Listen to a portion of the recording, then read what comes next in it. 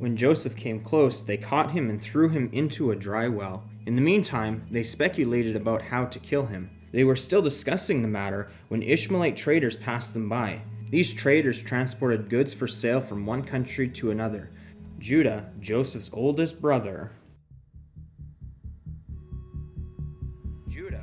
Joseph's oldest brother, Joseph's oldest brother, Joseph's oldest brother, Judah, Joseph's oldest brother, Joseph's oldest brother.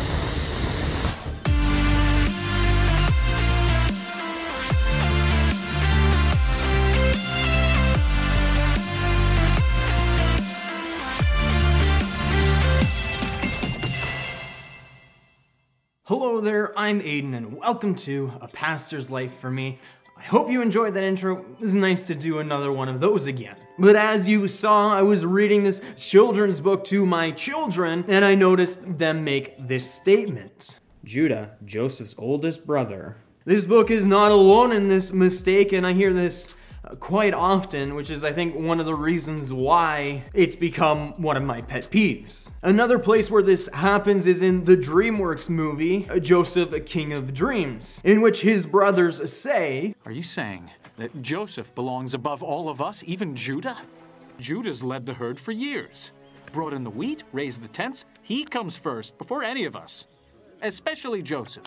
Now, it's not like they're saying he's the oldest directly, but they're kind of saying that he's the oldest. Why would the brothers band together and say, well, Judah is the one who is going to get the firstborn inheritance and blessing, when at this time in their lives, this would not have been the case at all? These are just two examples, but I hear this over and over and over again that Judah is the firstborn son of Jacob. And if you haven't gathered already, Judah's not the firstborn nor is he even the secondborn, nor the thirdborn.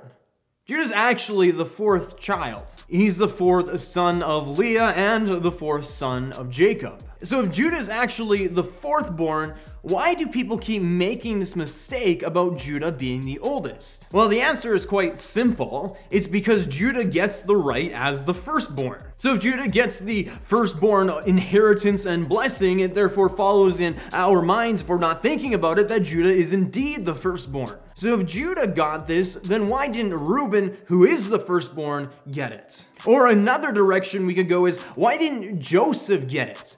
Joseph was the favorite son of Jacob because Joseph was the son of Rachel, the woman who Jacob actually loved. So why didn't Joseph get the firstborn blessing and why didn't Reuben get the firstborn blessing? It would seem that either one of these two should be the one who would get it. Well, let's start with Joseph. Why didn't Joseph get this blessing? Well, actually, he did. That is, he got a portion of it. In Genesis 48, Jacob perceives that he is close to dying, so he calls Joseph and his two sons, Manasseh and Ephraim, to him so that he might bless them. In this account, we see that Jacob blesses Joseph's younger son, Ephraim. It is in this blessing to Ephraim where Jacob passes on the land promise onto Ephraim, which was part of the firstborn blessing. So Joseph was in fact part of this blessing as the firstborn. It was just done directly to Ephraim. Now this clarifies things up a little bit, but it doesn't explain why Joseph didn't get all of it, and it most certainly doesn't explain why Reuben didn't get it, and if not Reuben, why didn't Simeon get it, and if not Simeon, why didn't Levi get it? Why did go all the way to the fourth born, Judah, who did get it. Well, if you continue on in Genesis 49, Jacob calls the rest of his sons to him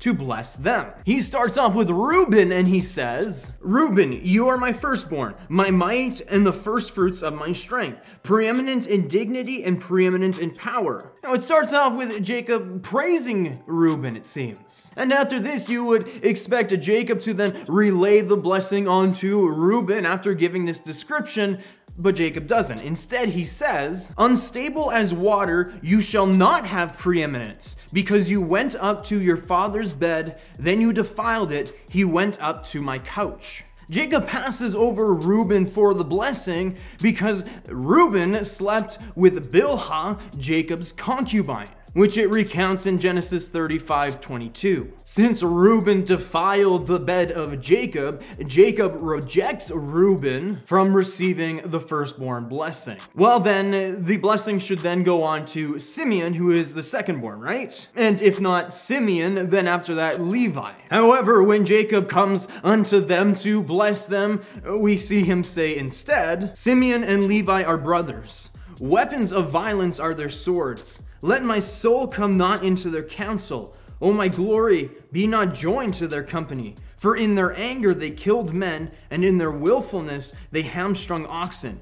Cursed be their anger, for it is fierce, and their wrath, for it is cruel. I will divide them in Jacob and scatter them in Israel. Jacob is referring to the events that take place in Genesis 34 with the defiling of Dinah. After a prince of a different area raped Dinah, we see that Simeon and Levi slaughtered all the men of that area upon tricking them. At the end of this, Jacob is angry with Simeon and Levi because Jacob feels now his name will be a stench to all the surrounding nations and people. The brothers' response were that they were just protecting the honor of their sister. Jacob's point in Genesis 49 is that in their wrath, they killed many people instead of just the man who was responsible. The reason why Simeon and Levi didn't just kill the one man but all the men was because if you just killed the prince, in essence, you're declaring war with the entire people who would then come upon you and attack you. By tricking them and wiping out all the men, you stop this problem from happening. But Jacob is not pleased, so he passes over Simeon and Levi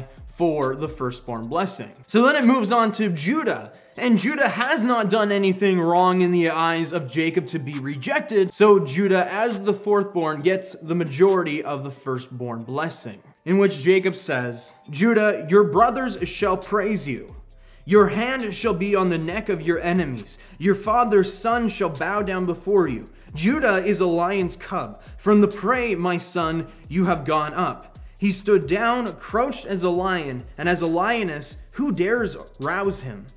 The scepter shall not depart from Judah, nor the ruler's staff from between his feet, until tribute comes to him, and to him shall be the obedience of the peoples. The blessing that Jacob gives onto Judah is the blessing of rule, which later becomes the blessing of kingship. The scepter shall not depart from Judah. So Judah is given the blessing of rule over all of his brothers, whereas Ephraim is given the land promise. So we see Jacob divide the firstborn blessing, and this clears up the reason why Judah is so often mistaken as the firstborn when he's actually not. That's all for today. I'll stop there. Like this video, subscribe to the channel, and remember to know the word, do the word, and share the word. But as always, we do it in love.